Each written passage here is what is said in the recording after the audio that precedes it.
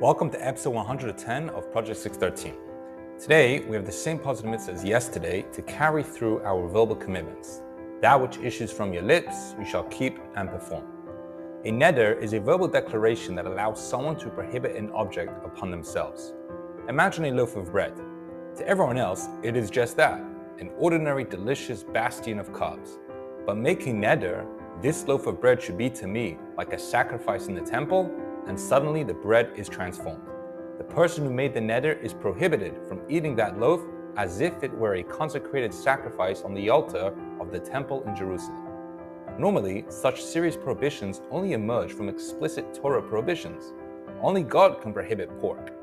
But Nedarim bestow these godlike transformative powers to everyone. Objects, relationships, even religious obligations can be reimagined through the linguistic power of the neder. This idea of a neder subverts our notion of language.